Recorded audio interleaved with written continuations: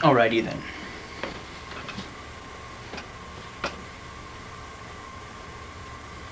Okay. The light. I need the light.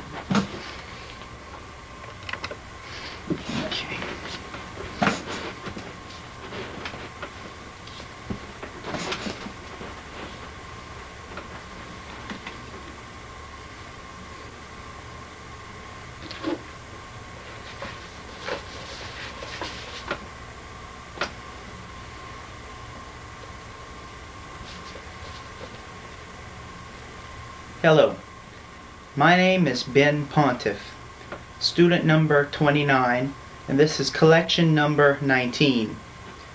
This is an oral history or personal memory of Maude Delaune. She's my grandmother, and as far as I'm concerned, she's one of the greatest human beings to ever have lived. Um, the Funk and Wagnalls Encyclopedia defines folklore as the following. A term desi- designating. God, I fucked that up.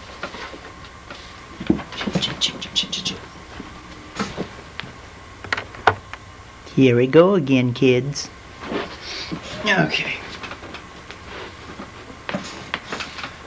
The lead back here.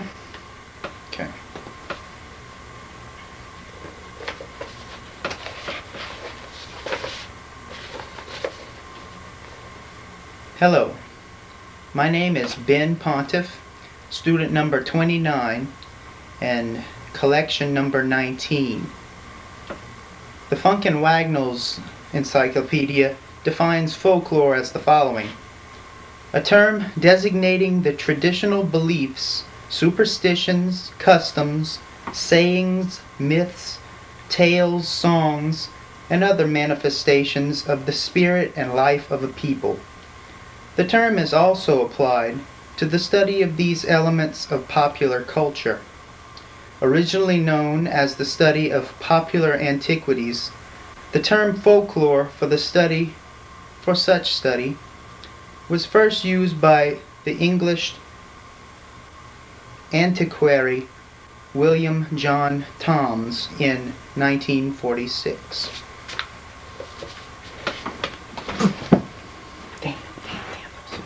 Moneymaker. Okay. Here we go. Here we go. Where's my bookmark? Bookmark? Yeah, there we go.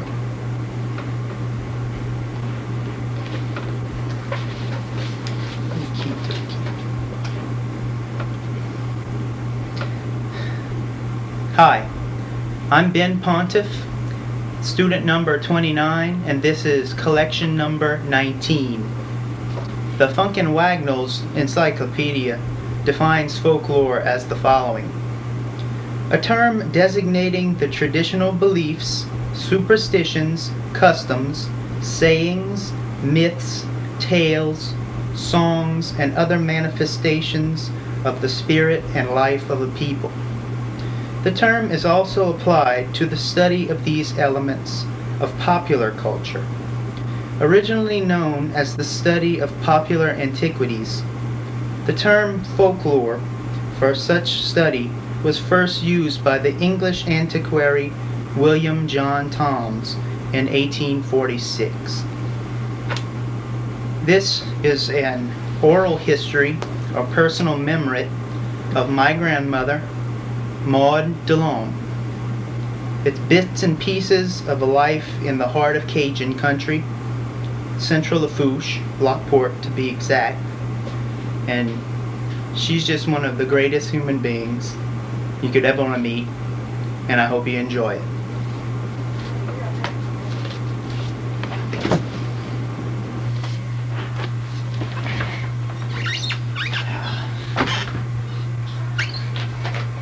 Okay.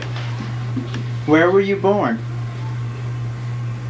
Uh, in my grandmother's house, 1913, In Lockport? Lockport. Right. What's Oh, would it be Lockport? or was it Longville at that time? No, but five miles from Lockport. Okay, down the bayou or up the bayou? Yeah. Uh, on 308. On 308. on 308. Okay. I don't like what you're doing. You better call Harvey. Okay. But I don't need that on my tape. Okay, okay. Where did you grow up? In Lockport. I guess you could call it Lockport. It's five miles. It, it, our address was Lockport, so it must be Lockport. How, how many brothers and sisters did you have? I had uh, five brothers and five sisters. It's a load, huh? And where were your parents from? Lockport. Originally from Lockport, too. All Ca- Cajun, Oh, French yeah. speaking? All Cajun. All French-speaking Cajuns. Um, what were what were their occupations? What did they do for a living? Well, my mother was a housekeeper. She had a lot of children, and my father was a storekeeper, general merchandise. Um, it was just a irregular grocery store. grocery, material, shoes, general merchandise. That's what they called it. Um, what do you remember most about your younger years when you were? Well, I remember at 13 years old when my mother died. That was devastating. And then the year after, my sister got married, and I was kind of in charge of the house, you see, How'd your mama die? of childbirth. And how old was she? 43. Um, well, um, who raised? Who was raising you? It's your father. Our father, our father was raising us until he remarried. hmm What, what was your father's name? Emile Edouard Leblanc, And your mom's name? Leah Leah. LeBlancs. They're both LeBlancs. Leblanc. Okay. Um, what did you do back then to have fun? Well, I played, I played with dolls, made clothes for dolls until I was 15 years old. Was store bought dolls or dolls you made? Yeah, well, I had a store-bought dolls, but we used to make, we had, in those days, it had uh, dolls with, um,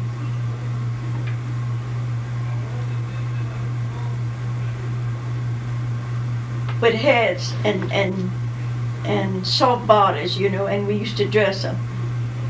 It not, it wasn't like the dolls that you buy today, you see, but we used to make clothes for them and dress them the way we wanted them So you sold couldn't buy ready-made stuff like you do today. you sold a lot. Yeah, I used to sew doll clothes. I Um, started sewing when I was eight years old. your mom taught you. Well, I guess I uh, inherited that from her about sewing, but I, I think I, I taught myself. And I, I belonged to the Voyage Club and I learned a little bit about that, you see. In those days, they had Voyage Club. Yeah. Been around for quite a while. Um. Okay. Well, what kind of food did y'all eat back then? Well, we ate a lot of fresh vegetables. My, my father used to grow them in, in, in our backyard. Potatoes and eggs and chicken and all kinds of vegetables. We always had fresh thing. And he a hog. We had fresh pork. What what kind of dishes like you would call Cajun dishes? What every kind or Yeah, I, I would believe so. We ate, for breakfast, we ate a lot of grits and eggs. And we had fresh milk because we had cows, you see. Mhm. We got fresh milk. Fresh eggs because we had chickens. and y'all y'all had y'all had a farm? Uh, a farm, we had a big backyard where all that took place. Mhm. My, my father owned property, but he rented, he let uh, his brother and other people work it, you see, and he'd get a share from that. Um. Did you cook a lot or? Not too much. I didn't. I did more sewing and ironing and cleaning house. Um, what? What? I mean, you know, you know how to cook, right? No, you know how to cook. I didn't cook until I got married. So yeah, everything you learned how to cook was like self-taught. Yeah, I would Pretty think much. so. And well, how, where where did you go to school? Was that Where did you go to school? seven district school? And It it it was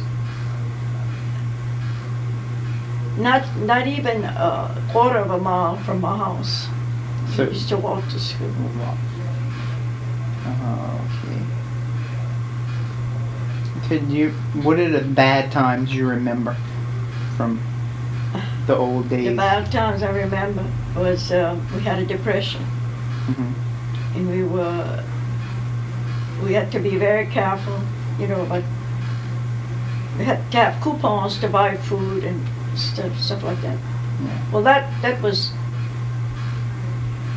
the depression came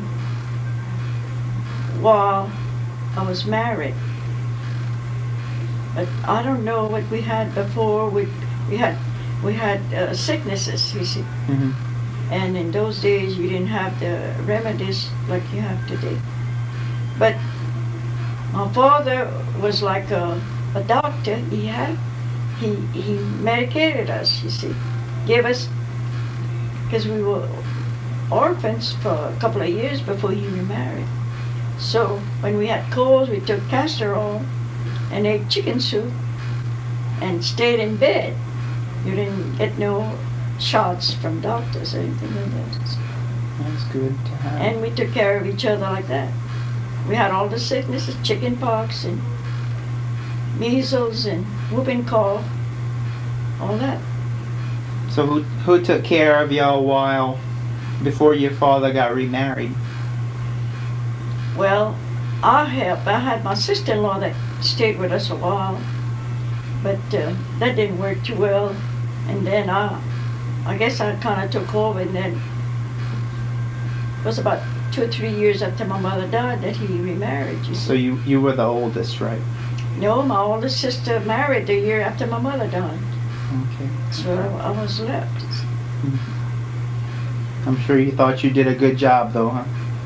I did what the best I could. I don't know what kind of job I did, but I did the best I could. What kind of um, diseases stick out as the worst ones?